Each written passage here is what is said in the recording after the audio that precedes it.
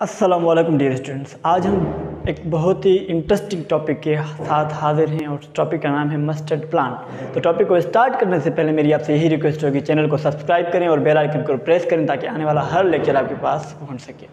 तो आइए हम टॉपिक को स्टार्ट करते हैं।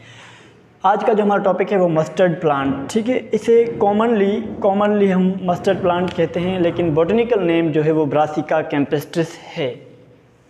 ये एक मल्टी सेलुलर ऑर्गेनिज्म है। मल्टी सेलुलर ऑर्गेनाइजेशन है इसकी। मल्टी सेलुलर ऑर्गेनाइजेशन है। इसे हम लोकली जो हमारे एरिया में इसे पुकारा जाता है, वो सरसों के नेम से। It means locally known as सरसों। और सिंधी में इसे सरहे कहते हैं। इसको विंटर सीज़न में कल्टीवेट किया जाता है। सर्दियों में कल्टीवेटेड इन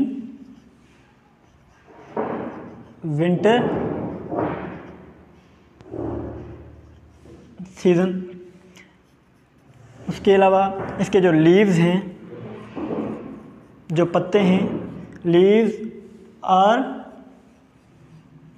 used as vegetable सब्जियों के तौर पर इस्तेमाल किया जाता है, जाते हैं, जो लीव्स हैं वेजिटेबल्स ठीक है?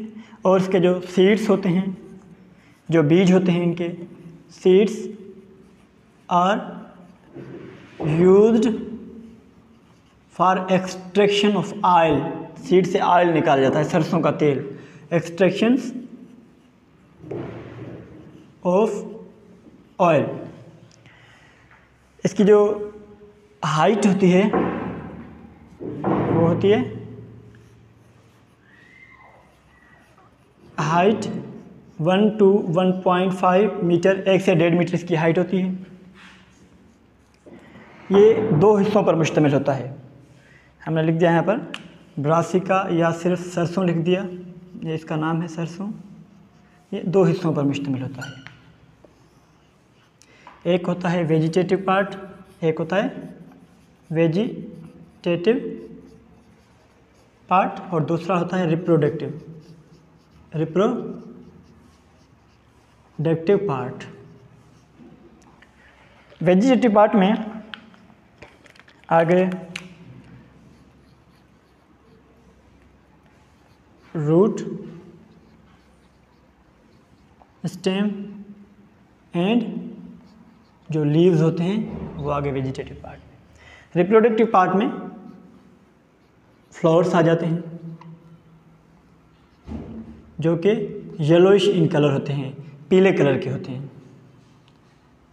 येलोइश इन कलर मैंने यहाँ पर रेड कलर यूज़ किया है क्योंकि मेरे पास येलो नहीं था तो इस वजह से मैंने रेड यूज़ कर दिया येलो इन करते हैं। इसे रिप्रोडक्टिव पार्ट क्यों करते हैं? क्योंकि न्यू जो मस्टर्ड प्लांट है, वो इन फ्लावर से ही बनता है। मीन्स ये फ्लावर रिप्रोडक्टिव पार्ट हैं, इनसे ही बीज बनते हैं और बीज से दोबारा एक नया मस्टर्ड प्लांट बनता है।